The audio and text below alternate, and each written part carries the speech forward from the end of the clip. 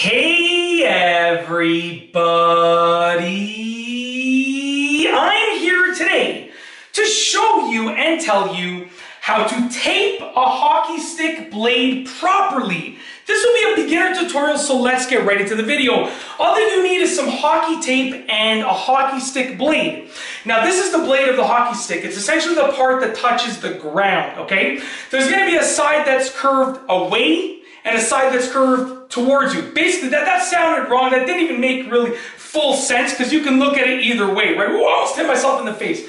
There's going to be a side that's sort of curved um, where the puck touches and a side that's curved where the puck does not touch regularly. You can, you know, touch the puck with either side of the stick, but this is the most commonly uh, touched side of the stick when it comes to the puck making contact with the stick. This is the side that you want to place more emphasis on. Obviously this side matters too, but really this side matters 99% of the time. Now, there are different methods for taping a hockey stick blade. I'm going to show you the most simplistic one. There are um, personal preferences that come into play as well. Some people will tape, you know, the, the edge over here. Some people start their tape here, will will only tape the middle. Some people will go all the way through the entire thing. It's up to you. I'm going to show you how I'm going to tape my son's hockey stick. It's a short stick, in case you're wondering. Um, it's, it, you know, this is the length of the stick. It's not my own stick. It's the stick for my son. I actually never played hockey as a kid, really competitively. I just played on the street with my friends and shinny and stuff like that. So I wasn't really exposed to it, but I did learn a lot now that my son's into it. So um, yeah, like I said, I just want to show you the process for taping the stick. Essentially, you want to get your hockey tape, and I do apologize for the long intro. It's longer than I wanted it to be, but what are you going to do? Okay, now I recommend that you start on the side that does not make contact with the puck as often.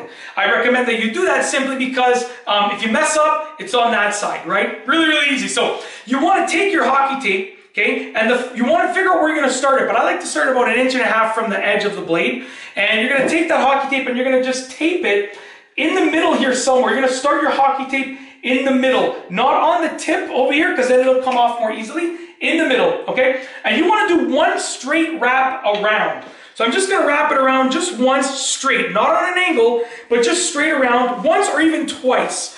That's going to hold the hockey tape in place. Now at this point, what you want to do is you want to start overlapping about halfway um, through each strand. So basically, through each strand that I wrap, I'm going to overlap halfway. So I'm going halfway onto the next strand now, as you can see. Halfway onto the next strand, I've done that, as you can see.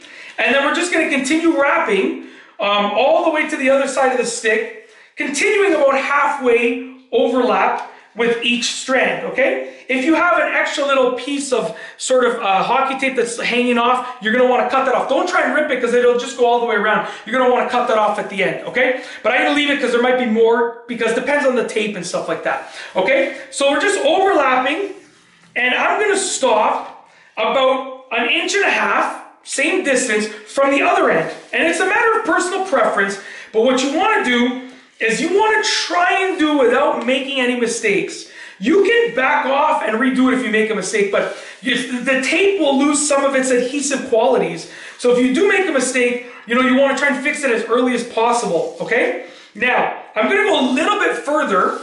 We're going to go, like I said, about um, an inch and a half. See, I messed up there, but I backed it off a little bit and I fixed it, okay? We're going to go about an inch and a half from the other end of the stick.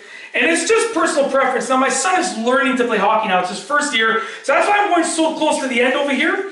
Because I want him to have the best grip of the puck, the best chance to learn how to handle the puck. You know, and I want, this is going to be touching the ice. He's still learning how to skate properly. So I want him to have the best chance of success. So I'm going to give him, you know, a little bit of extra length of tape, okay?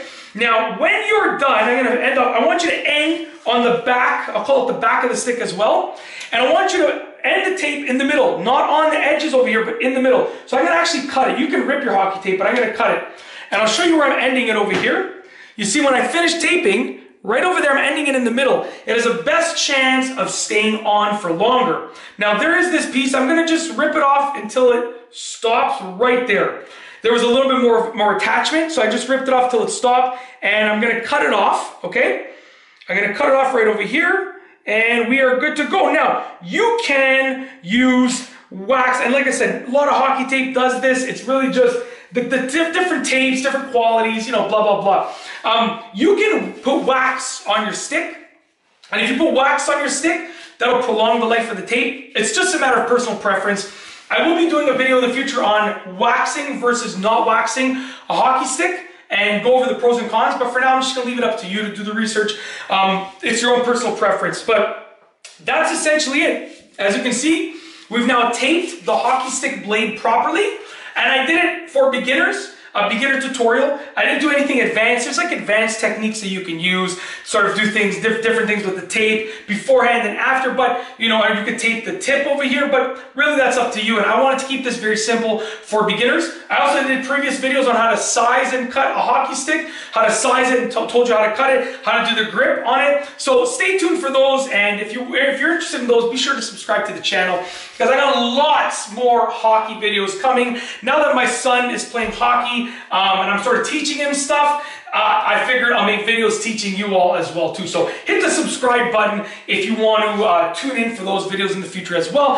And that and other videos. These ones I already filmed. They'll be released around this date, give or take, when you see this. Um, but those other videos, other hockey tutorials, I have lots planned. Like probably well over 50 that I just planned out last night um, that will be, be released in the future. So subscribe and stay tuned for those. And that's it. If you like this video, please be sure to give it a thumbs up. Let me know what you think down below as a comment whoa, that's pretty cool. That's pretty cool. I'm sorry. That's a new trick. Maybe I'll do that. Hockey stick tricks. You know, I was never good at hockey playing, but in terms of stick tricks, because I'm a drummer, I got my drum set in here actually in this room, my electronic drum set. Because I'm a drummer, I'm good at doing all sorts of stick tricks um, that from, you know, drumsticks to sort of translate to hockey sticks. But yeah, anyways, that's truly it. I'm going to stop talking about the tricks and the future videos and we're going to end this one. If you like this video, please be sure to give it a thumbs up. Let me know what you think down below as a comment. And of course, be sure to subscribe for more great videos just like this one. And that's all I have for you today. Thanks for watching.